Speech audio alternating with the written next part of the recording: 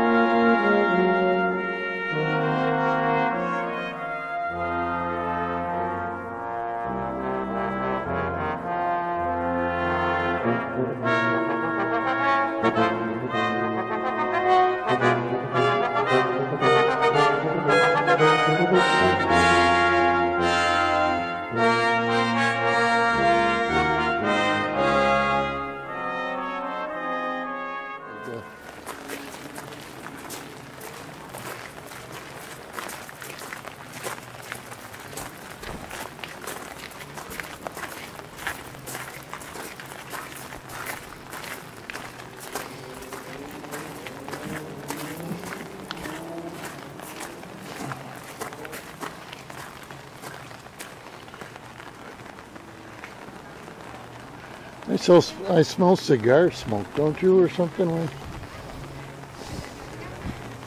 But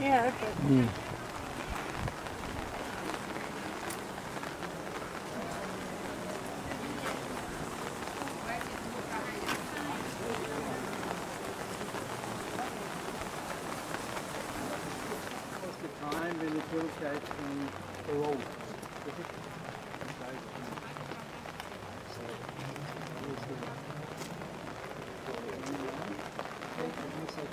Yeah.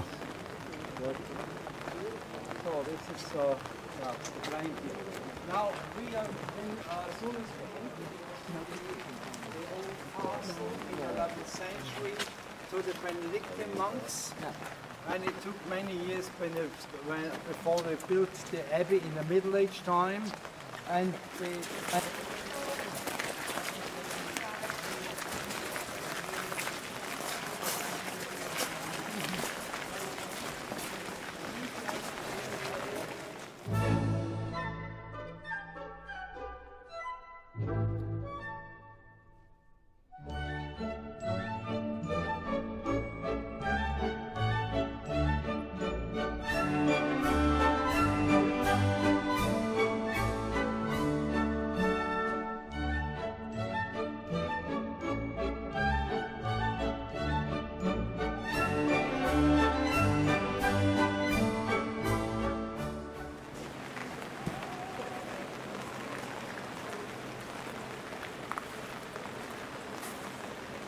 This is the Benedictine Monastery at Melk.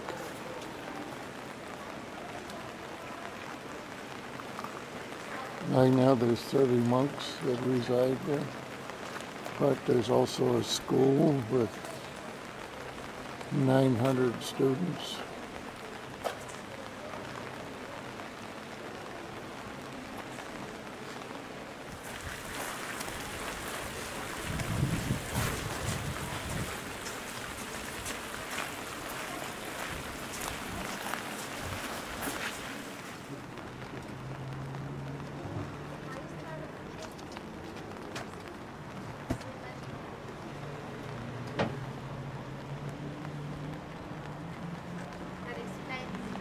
This is Melk, Austria.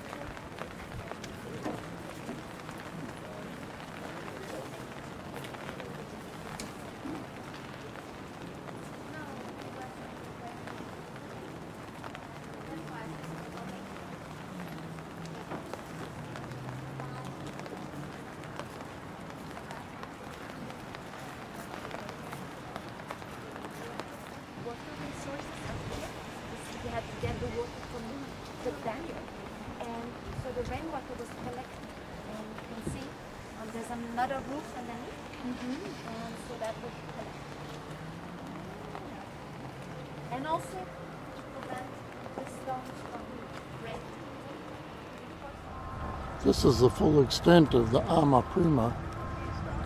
It's the only time I've been able to get the whole thing without another ship blocking the scene or something. This is on the Danube River.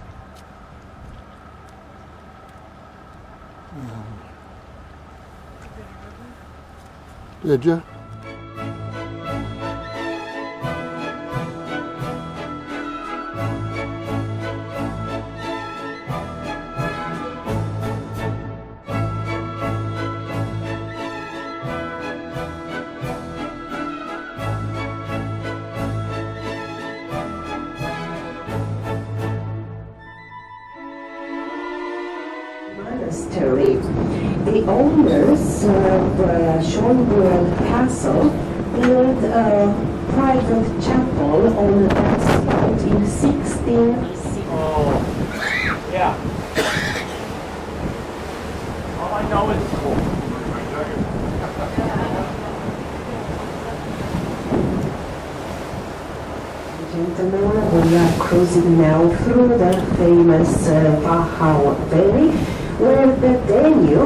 Her way through the Bohemian Massif.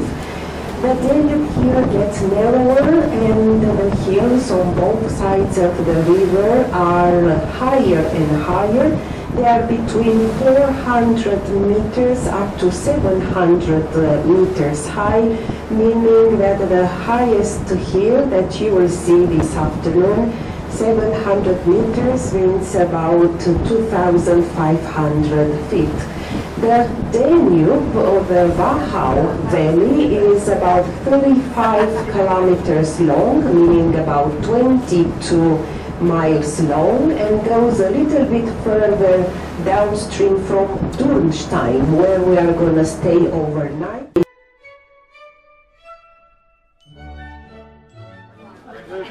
Later.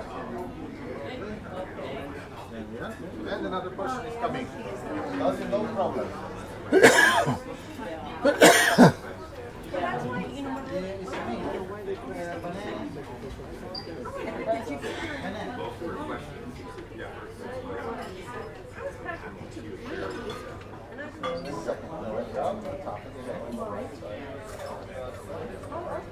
This one here is echo.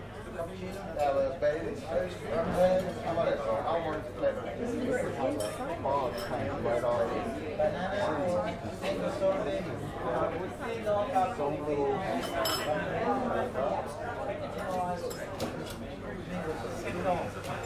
Actually, I, I made the decision. So tomorrow, just say Vienna, seventy milligrams.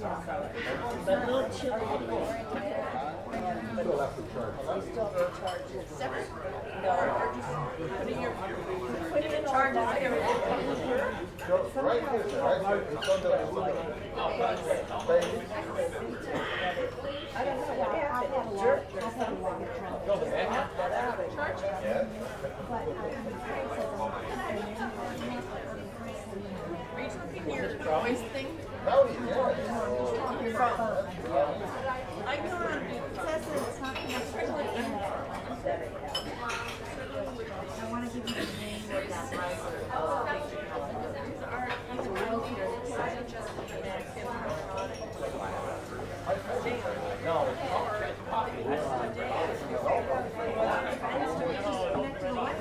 That's right. But ice cream, ice cream is something else. Not very either. I wanna give you the name of it.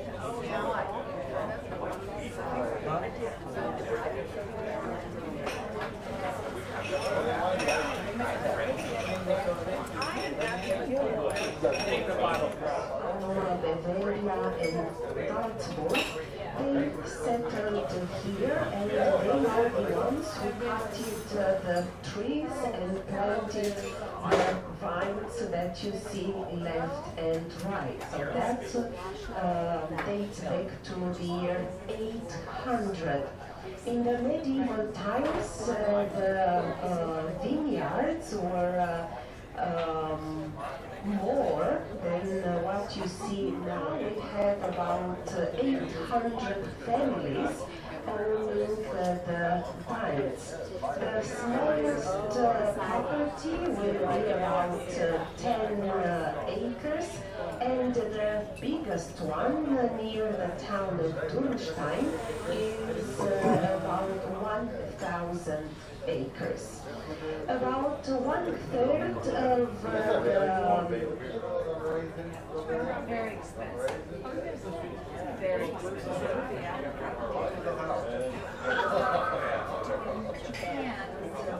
Wachau Valley.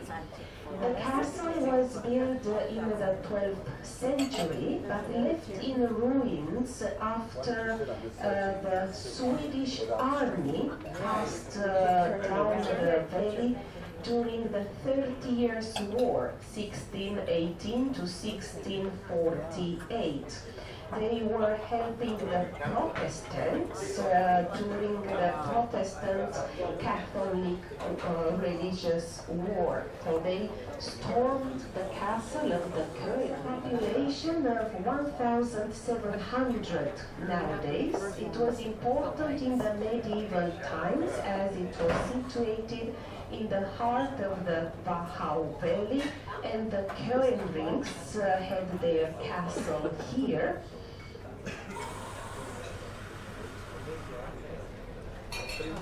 It was destroyed by the Swedish army in the 1630s, rebuilt again and destroyed again by the French troops of Napoleon when he came down the valley in 1803 and up the valley in 1809.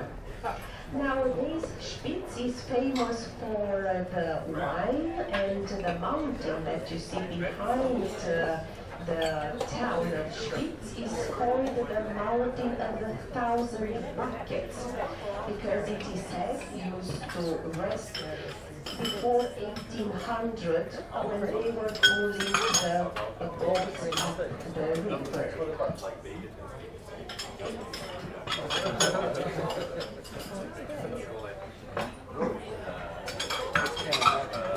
up the river.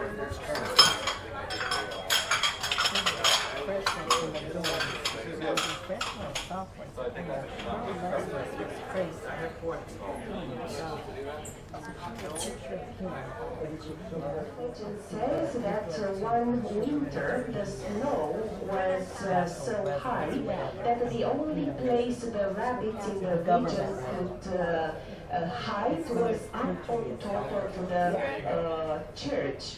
And one day the snow melted so fast that the rabbits had no time to jump down. They stayed there and turned into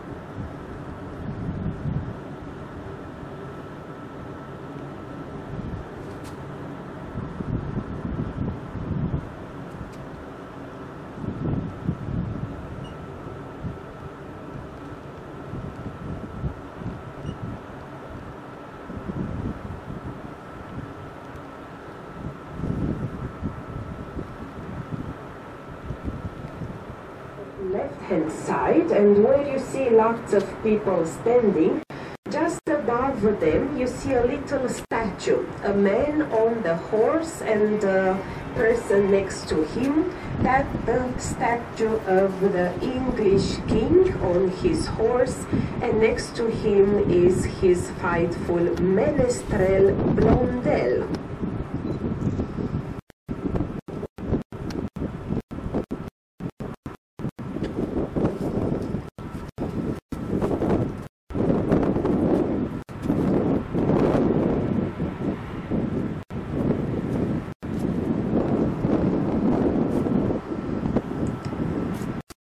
And if you pay attention in front of us, uh, you can see already this charming uh, town of Dürnstein, population about 900.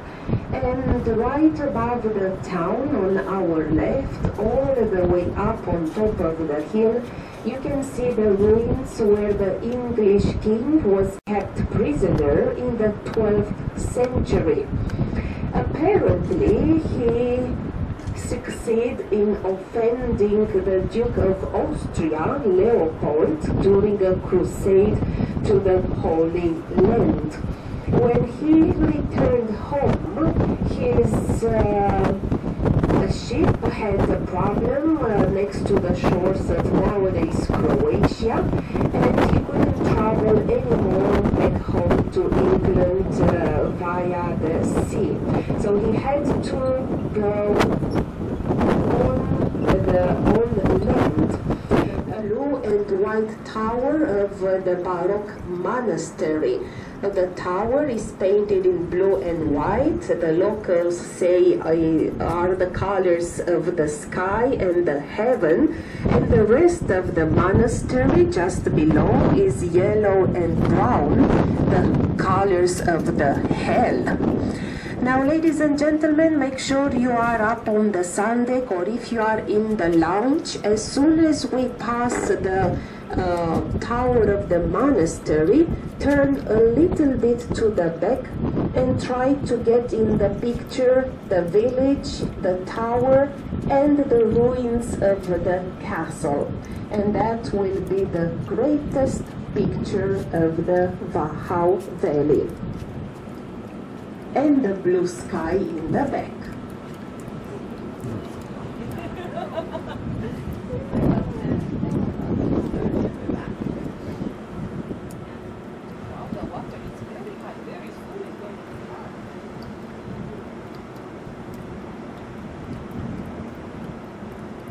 So if you are up on the sun deck, now is your chance to get a great picture with the tower in front, the village, and the ruins all the way up on top of the hill.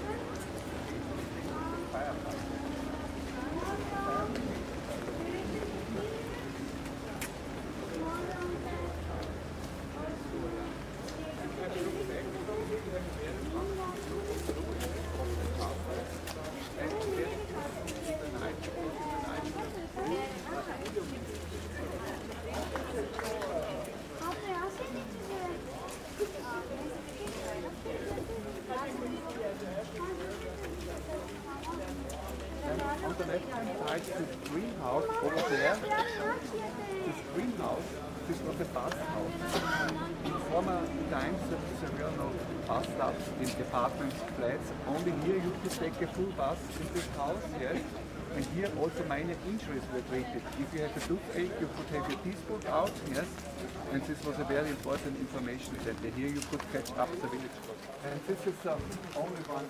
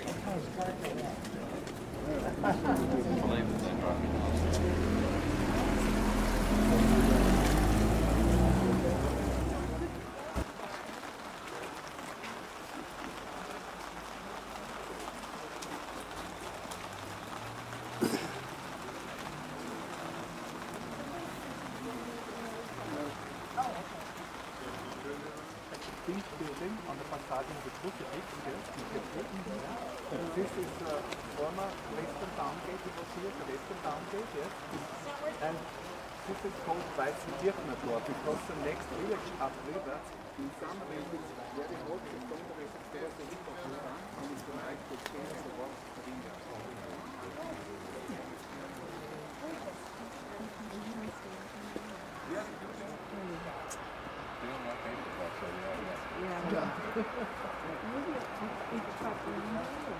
そうです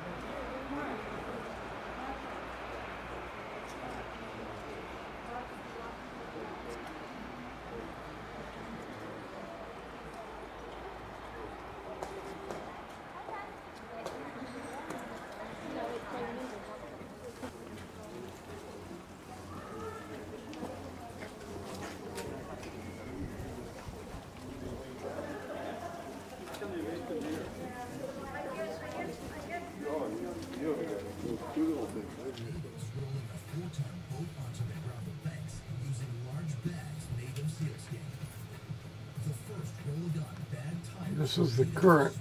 We're docked in Dürnstein. And this is the current outside on the Danube River, just to show how fast it's flowing. Had a lot of rain here lately and it's rising.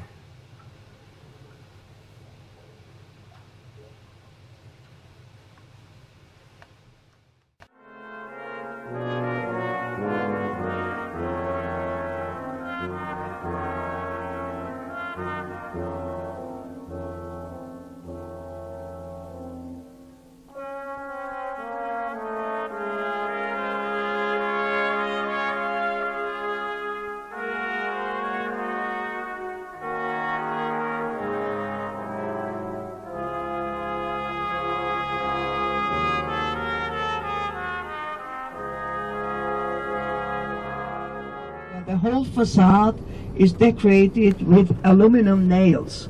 This is the Post Office Savings Bank, and it's one of the typical buildings uh, from the Art Nouveau side. We are driving along one palais after the other. All the rich and noble uh, families, they wanted to have a palais here along the ring in the 19th century. And uh, if you look at these palais, the concert is being transmitted every year on TV. They're transmitting the concert already in more than 80 countries all over the world.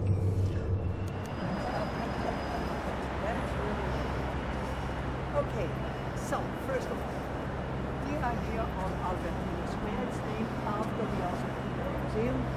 This was once uh, a palace that belonged to the Hofburg. The Hofburg used to be the winter residence of the Habsburgs, as I've mentioned already in the past.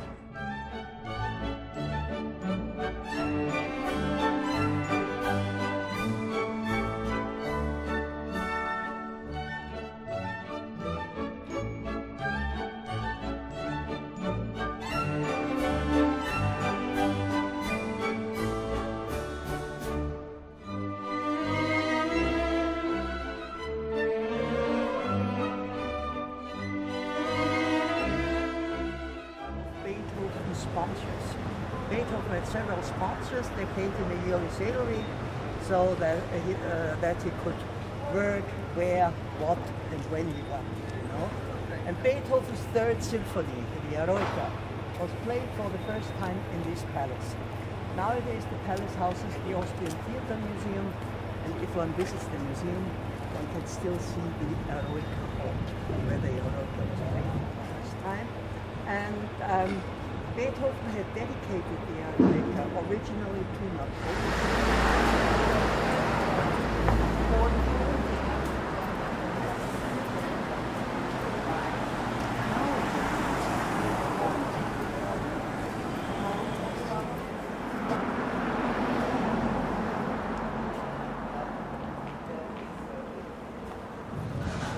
eldest son of Maria Theresia. I've mentioned already she had 16 children, 11 daughters and 5 sons. This was her second so the following. Then all the buildings here are belonging to the Hof. I've mentioned already. So behind you we have the entrance to the Augustinian Church.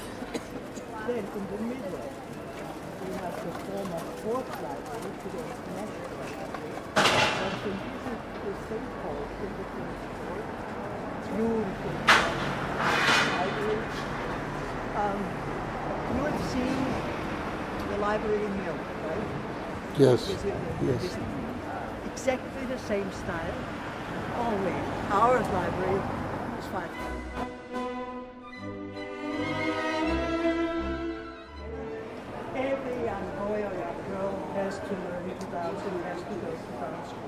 That's a must. Now this wing was added in the 16th century.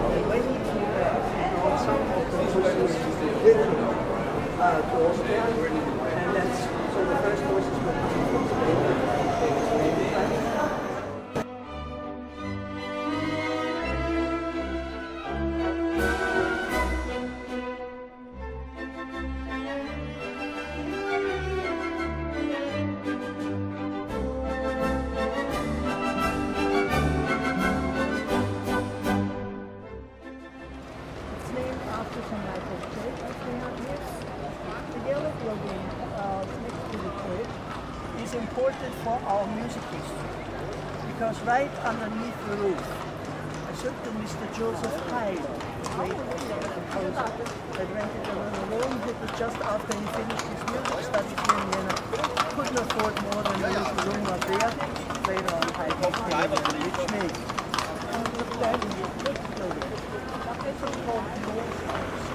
Adolf was the first modern architecture in Vienna in the 20s. When this building was inaugurated, it was the scandal of Vienna. Because the Viennese were accustomed to the beautifully decorated facades, especially with decorations on top of the windows. They will have nothing. The Viennese said that's the house without eyebrows. Uh-huh. Nowadays it's one of the best examples for art deco. Next corner, unfortunately, one of my favorite cafes, just closed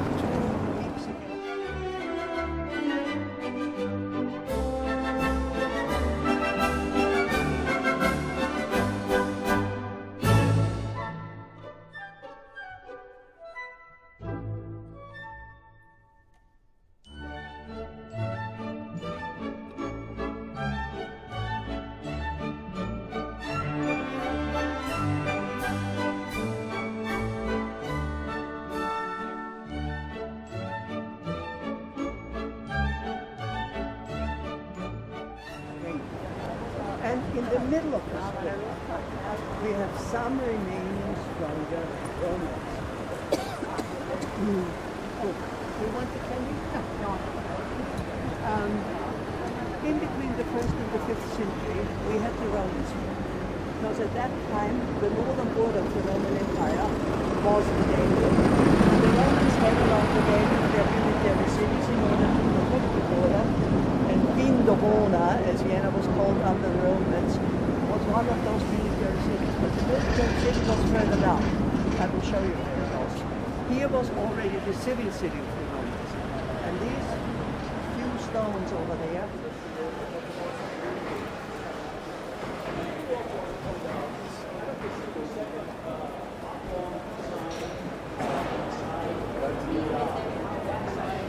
This is Vienna.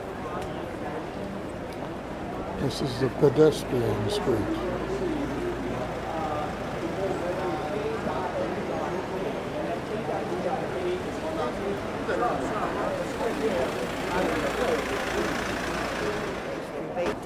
Was the highest title they could get at the time of the monarchy. And they have made a choice. This family and the decoration of the windows they make them all with sugar and nuts.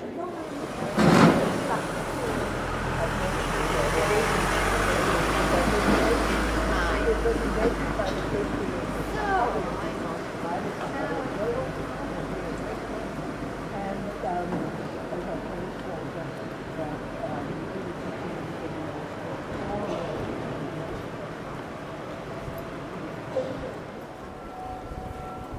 Again, this is the pedestrian street in Vienna. Oh, look at the glass art. Suits at the door are intimidating. mine. That's the best, exquisite delicatessen here. We find really everything. Uh, it's, it's fantastic. Okay.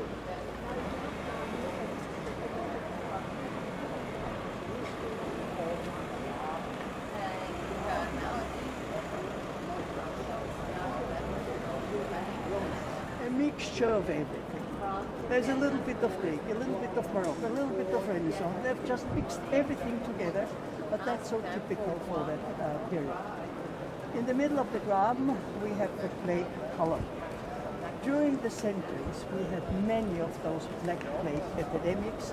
Every time, thousands of people were dying of it. So uh, during every plague, the emperors always made a vow there wouldn't be too many people dying if the plague wouldn't last too long. They would either have a church or a column built as a thanksgiving, means we have in Austria many plague churches and many plague columns. Now.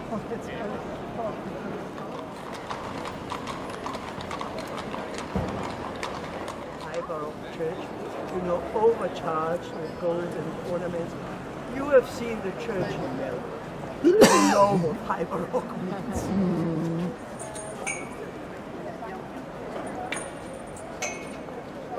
This is St. Peter's Church. One of the plague churches.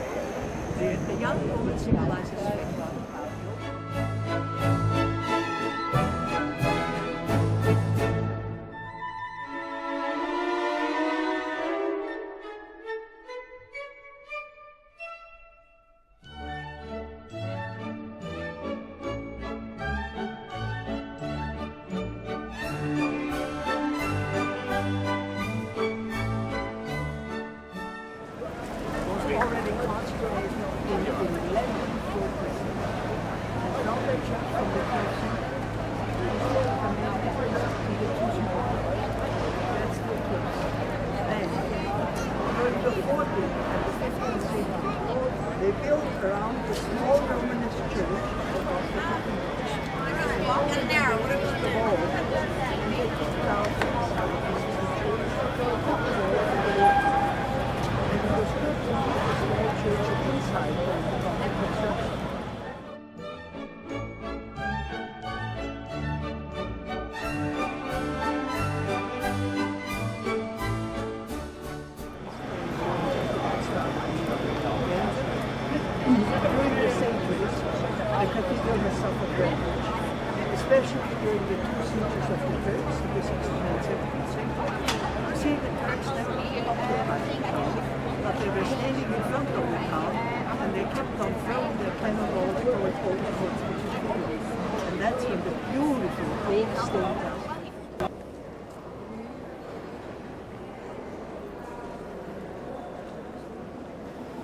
This is St. Stephen's in Vienna.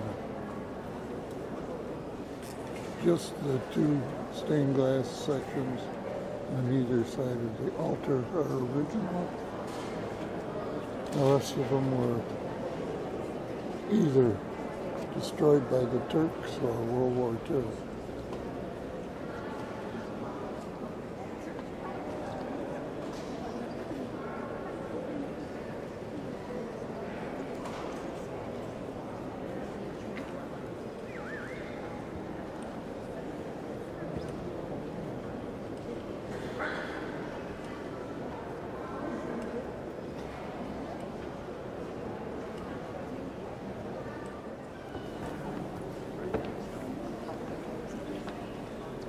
And this is the view of the choir loft.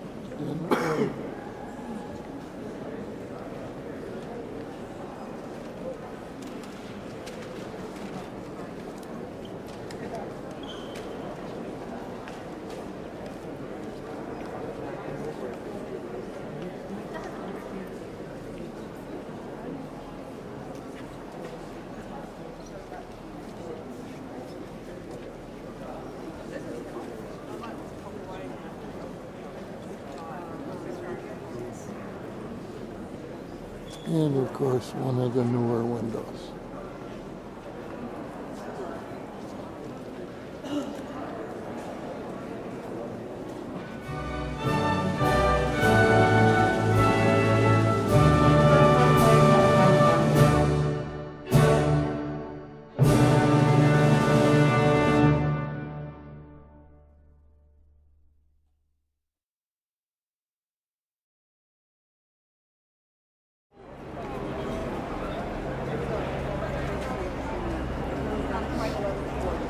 This is like the center of Vienna, the center of the old Vienna city.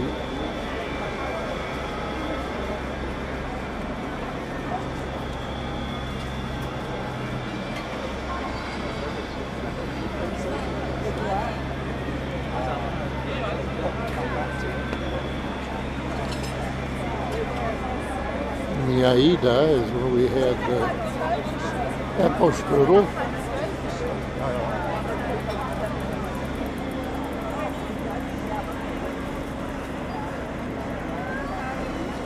This is St. Peter's.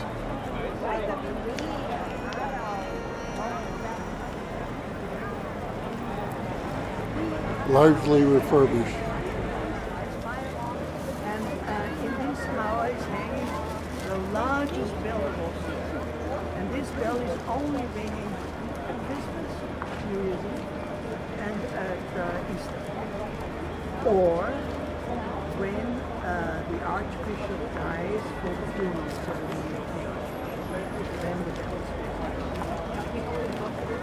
Yeah, uh, in this tower we have the monument of Mr. Gutenberg.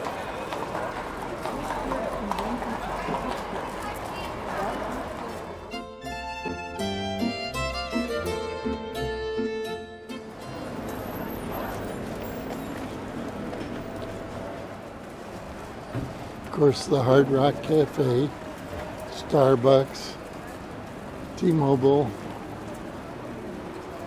and McDonald's. Hmm, look at the bakeries.